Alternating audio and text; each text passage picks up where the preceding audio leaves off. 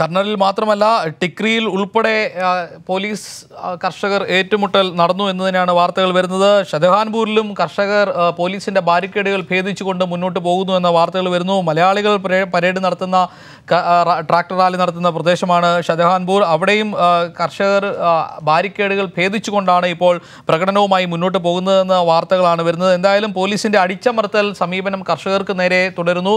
കഴിഞ്ഞ രണ്ട് മാസത്തിലധികമായി സമാധാനപരമായി സമരം ചെയ്ത ആളുകൾക്ക് നേരെയാണ് ഇന്ന് പോലീസിന്റെ ഭാഗത്തു നിന്ന് പ്രകോപനമുണ്ടാകുന്നത് ടിയർ ഗ്യാസുകൾ പ്രയോഗിക്കുന്നത്.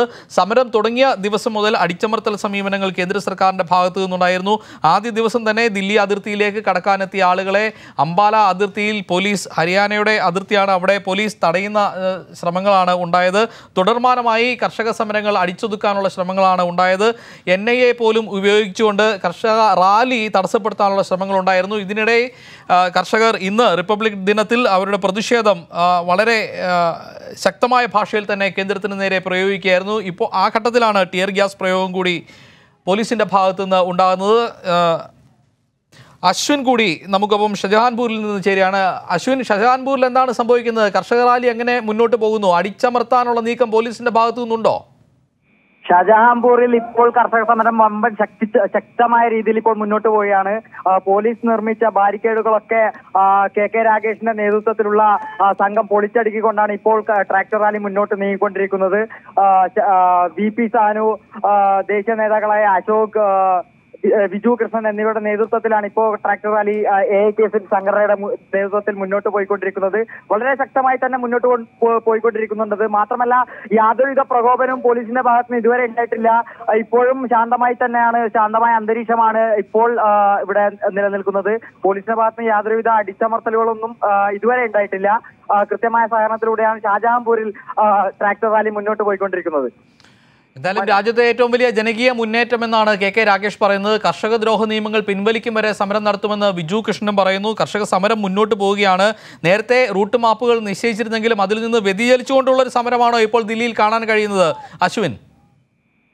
ഷാജഹാൻപൂരിൽ അത്തരത്തിലൊരു ലംഘനമൊന്നും എവിടെയും കാണാൻ പറ്റുന്നില്ല. പോലീസ് ഇന്നലെ പറഞ്ഞിരുന്നു യാതൊരു അനുമതിയും ഇല്ലാതെയാണ് കർഷക സംഘങ്ങൾ മുന്നോട്ട് പോകുന്നത്. എന്നാൽ ഷാജഹാൻപൂരിൽ ഏതൊക്കെ റൂട്ടിലൂടെ പോകും എന്നുള്ള രീതിയിലുള്ള കാര്യങ്ങൾ കർഷകർ നേരത്തെ തന്നെ അറിയിച്ചിരുന്നു. ആ, റൂട്ടിലൂടെ മാത്രമാണ് ഇപ്പോൾ ഷാജഹാൻപൂരിൽ നടക്കുന്നത്. എന്നാൽ മറ്റു തിക്രി പോലുള്ള സ്ഥലങ്ങളിൽ ചെറുതായിട്ടുള്ള വ്യ- വ്യതിചലനം ഉണ്ടായിരുന്നു. അത് ഇപ്പോൾ അത് സ്ഥിതി ശാന്തമായിട്ടുണ്ട് എന്നാണ് ഇപ്പോൾ അറിയാൻ കഴിയുന്നത്. എന്നാൽ ഷാജഹാൻപൂരിൽ മുന്നേ പറഞ്ഞിട്ടുള്ള അതേ രീതിയിൽ തന്നെയാണ് ഇപ്പോൾ ട്രാക്ടർ റാലി മുന്നോട്ട് കർഷക മുന്നേറ്റം തന്നെയാണ് ദില്ലിയിൽ കാണാൻ കഴിയുന്നത് വിവിധ മേഖലകളിൽ. കർണലിലാണ് പോലീസ് ടിയർ ഗ്യാസ് പ്രയോഗിച്ചത്. ശരത്ത് കൂടി നമുക്ക് പോകണ്ട്. ശരത്ത് ഈ ട്രാക്ടർ റാലിക്കിടെ അക്രമം ഉണ്ടാകാനുള്ള സാധ്യതകളുണ്ട് എന്ന് നേരത്തെ തന്നെ സൂചനകളുണ്ടായിരുന്നു. ചിലർ നുഴഞ്ഞുകയറ്റക്കാർ ആയുധങ്ങളുമായി ഇതിനിടെ പിടിയിലാവുകയും ചെയ്തു. അവർക്ക് പിന്തുണ നൽകുന്നത് ദില്ലി പോലീസ് ആണെന്നുള്ള കുറ്റസമ്മതവും മൊഴിയും ഒക്കെ പുറത്തു വന്ന അറി അറിവ് വിവരങ്ങൾ കൂടി നമുക്കുണ്ട്. ഈ- ആസൂത്രിതമായ ഒരു അക്രമം എന്ന നിലയിലേക്ക് കാര്യങ്ങൾ കാര്യങ്ങൾ നീങ്ങുകയാണോ എങ്ങനെയാണ് ഈ നമുക്ക് ഇതിനെ ഒന്ന് നിരീക്ഷിക്കാൻ കഴിയുന്നത്? ശരത്. ജോർജറ്റ് ഈ ഒരു ദിനത്തിൽ ക്രമസമാധാന പ്രശ്നം ഉണ്ടാകണമെന്നും അതിന്റെ ആ ഒരു മറവിൽ കർഷകർക്ക് നേരെ രാജ്യവ്യാപകമായി വലിയ ഒരു ക്യാമ്പയിൻ ഉയർത്തിക്കൊണ്ടുവരണമെന്നും ആഗ്രഹിക്കുന്നത് കേന്ദ്ര സർക്കാരാണ്. അതിനുവേണ്ടിയുള്ള ബോധപൂർവമായ പരിശ്രമങ്ങൾ നേരത്തെ തന്നെ കേന്ദ്ര സർക്കാരിന്റെ ഭാഗത്തു നിന്നും ഉണ്ടാവുകയും ചെയ്തിരുന്നു. അതിന്റെ ആയുധങ്ങൾ എന്നുള്ള നിലയിൽ ദില്ലി പോലീസിനെയും ഹരിയാന പോലീസിനെയും ഉപയോഗിച്ചുകൊണ്ട് പല രീതിയിലുള്ള പ്രകോപനങ്ങൾ നേരത്തെ തന്നെ സൃഷ്ടിക്കുകയും ചെയ്തിരുന്നു.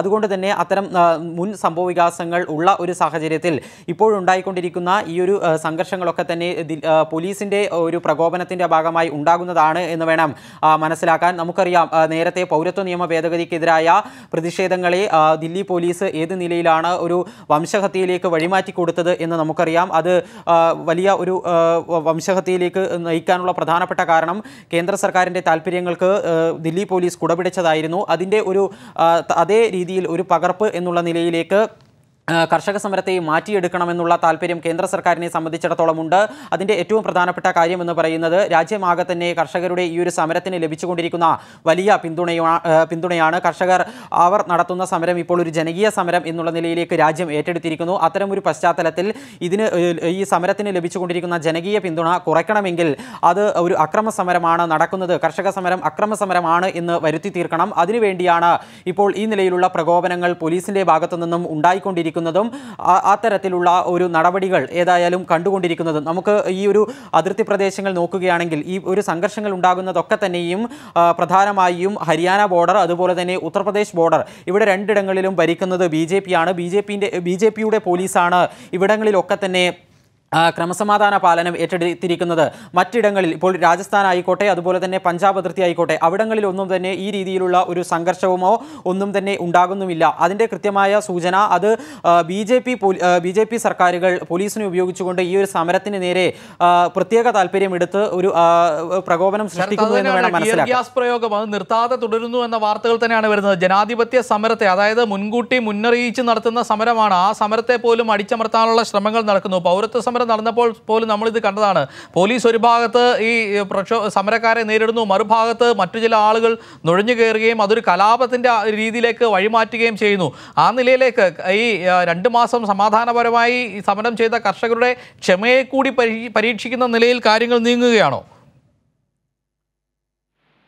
തീർച്ചയായും ജോജറ്റ് ഈ ഒരു കാർഷിക നിയമങ്ങളുമായി ബന്ധപ്പെട്ട് ഏറ്റവും കൂടുതൽ പ്രതിസന്ധി അനുഭവിക്കുന്നത് കർഷകരാണ്. എന്നിരിക്കെ കർഷകരുടെ ഏറ്റവും ന്യായമായ ആവശ്യങ്ങൾ ഇപ്പോൾ തന്നെ പതിനൊന്ന് തവണ ചർച്ച പൂർത്തിയായിരിക്കുന്നു. കർഷകർ അവരുടെ നിലപാട് അസന്നിഗ്ധമായി വ്യക്തമാക്കുകയും ചെയ്തിരിക്കുന്നു. കർഷകർക്ക് വേണ്ടാത്ത ഒരു നിയമം നടപ്പിലാക്കുന്നതിന് വേണ്ടിയാണ് കേന്ദ്ര സർക്കാർ ഈ നിലയിലുള്ള ഒരു നിർബന്ധ ബുദ്ധി കാണിക്കുന്നത് എന്നുള്ള ഇടത്ത് തന്നെ കേന്ദ്ര സർക്കാർ താല്പര്യം വ്യക്തമാണ്. അവർ ഈ ഒരു കോർപ്പറേറ്റുകൾക്കൊപ്പം നിൽക്കാൻ വേണ്ടി കേന്ദ്ര സർക്കാർ താല്പര്യപ്പെടുന്നു എന്നത് തന്നെയാണ് അതിന്റെ യാഥാർത്ഥ്യം. അതുകൊണ്ടുകൂടി തന്നെയാണ് കോർപ്പറേറ്റുകളെ പ്രീതിപ്പെടുത്തുന്നതിന് വേണ്ടി ഈ ഒരു കർഷക സമരത്തിന്റെ ഉദ്ദേശശുദ്ധിയെ ഒരു കാരണവശാലും തിരിഞ്ഞു നോക്കാൻ ഈ സർക്കാർ തയ്യാറാകാത്തതും താൽക്കാലികമായി ഈ ഒരു നിയമങ്ങൾ നിർത്തിലാക്കാം അല്ലെങ്കിൽ നടപ്പിലാക്കുന്നത് തൽക്കാലത്തേക്ക് മരവിപ്പിക്കാം എന്ന ഒരു കേന്ദ്ര സർക്കാരിന്റെ ഒരു ശുപാർശ അത് കർഷകർക്ക് മുന്നിൽ ഇപ്പോൾ കേന്ദ്ര സർക്കാർ വയ്ക്കാനുള്ള പ്രധാനപ്പെട്ട കാരണം എന്ന് പറയുന്നത് തൽക്കാലത്തേക്ക് ഈ ഒരു സമരത്തിന്റെ ഒരു ശക്തി ഒന്ന് കുറയ്ക്കുക എന്നുള്ളത് തന്നെയാണ്.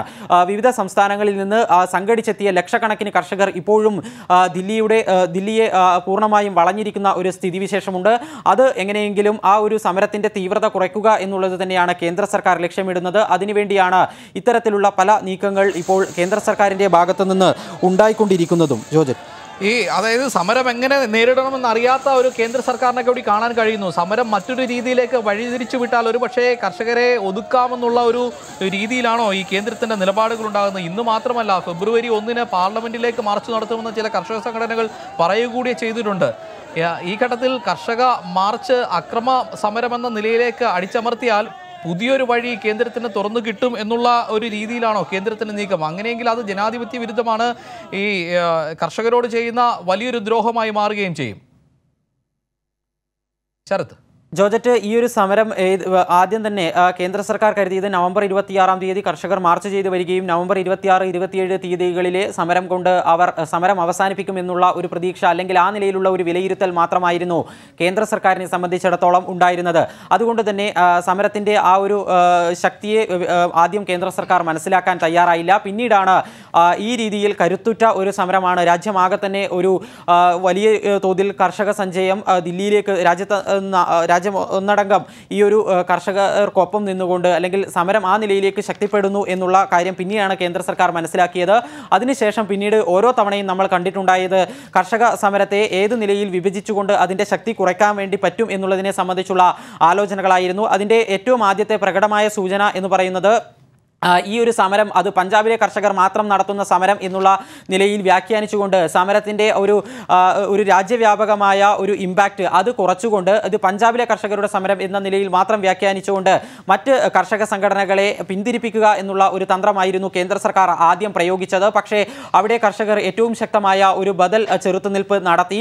ഇത് രാജ്യമാകെയുള്ള കർഷകരുടെ സമരം എന്നുള്ള നിലയിലേക്ക് അവർ ആ ഒരു സമരത്തെ ഉയർത്തിക്കൊണ്ടുവരികയും അല്ലെങ്കിൽ അങ്ങനെ ഒരു സമരം എന്ന നിലയിലേക്ക് കേന്ദ്ര സർക്കാരിന് മുന്നിൽ ആവശ്യങ്ങൾ മുന്നോട്ട് വയ്ക്കുകയും ചെയ്തു. പിന്നീട് കേന്ദ്ര സർക്കാർ ശ്രമിച്ചത് കർഷക സംഘടനകളെ വിഭജിക്കുന്നതിന് വേണ്ടി വെവ്വേറെ ചർച്ചകൾ നടത്തുക എന്നുള്ള ഒരു നീക്കമായിരുന്നു. ആദ്യം പഞ്ചാബിലെ കുറച്ച് കർഷക സംഘടനകളെ മാത്രം ക്ഷണിച്ചുകൊണ്ട് ചർച്ച നടത്തുന്നു.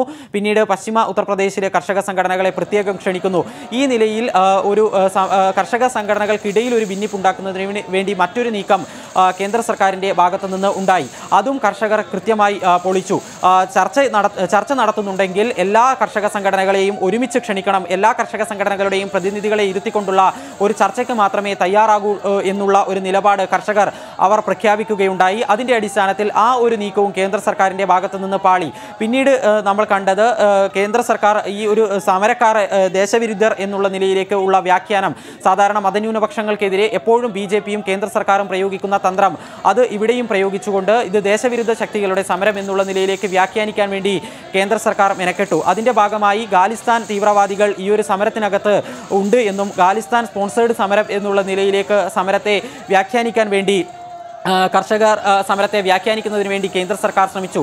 അത്തരത്തിലൊരു നീക്കം കേന്ദ്ര സർക്കാരിന്റെ ഭാഗത്തു നിന്നും ഉണ്ടായപ്പോൾ വളരെ ജാഗരൂകതയോടുകൂടി കൃത്യമായി സമരക്കാരുടെ നീക്കങ്ങളൊക്കെ തന്നെ സ്വയം നിരീക്ഷിക്കുന്നതിന് വേണ്ടി ഈ സംഘടനകൾ തയ്യാറായി. അത്തരത്തിലുള്ള സാമൂഹ്യ വിരുദ്ധ ശക്തികൾ സമരത്തിൽ കടന്നു കയറുന്നതിന് വേണ്ടി പാടില്ല എന്നുള്ള ഒരു തീരുമാനത്തിന്റെ അടിസ്ഥാനത്തിൽ അങ്ങനെയുള്ള ആളുകൾക്ക് മേലൊക്കെ തന്നെ പരിശോധന നടത്തുകയും അവരെയൊക്കെ തന്നെ സമരത്തിൽ നിന്ന് അകറ്റി നിർത്താനും കേന്ദ്ര സർക്കാരിന്റെ ആ ഒരു നീക്കത്തെ പൊളിക്കാൻ വേണ്ടി കർഷകർ ചെയ്യുകയും ഉണ്ടായി അതിനുശേഷം മറ്റൊന്ന് നമ്മൾ കണ്ടത് ഈ ഒരു സമരത്തിന് കർഷകർ അവസാനം പ്രഖ്യാപിച്ച ട്രാക്ടർ റാലി അത് നടക്കുന്നത് തന്നെ ഒഴിവാക്കുന്നതിന് വേണ്ടി ജനാധിപത്യപരമായ ഒരു പ്രതിഷേധം അല്ലെ കർഷകരുടെ ഏറ്റവും വലിയ ആശ്രയമായ ട്രാക്ടർ ഉപയോഗിച്ചുകൊണ്ട് അവരുടെ ഒരു പരേഡ് നടത്തുക എന്നുള്ള ഒരു സമര രീതിയിലേക്ക് കർഷകർ പോയപ്പോൾ അതിനെ സുപ്രീം കോടതിയെ കൂട്ടുപിടിച്ചുകൊണ്ട് ഇല്ലായ്മ ചെയ്യുന്നതിന് വേണ്ടി അല്ലെങ്കിൽ ആ ഒരു നീക്കത്തെ എങ്ങനെയാണ് ഇല്ലാതാക്കുക എന്നുള്ളതായിരുന്നു കേന്ദ്ര സർക്കാർ പിന്നീട് ശ്രമിച്ചത്. അതിന്റെ ഭാഗമായി ദില്ലി പോലീസിനെ ഉപയോഗപ്പെടുത്തിക്കൊണ്ട് ആ, സുപ്രീം കോടതിയിൽ ഹർജി നൽകുന്ന ഒരു സ്ഥിതിയാണ് പിന്നീട് കണ്ടത്.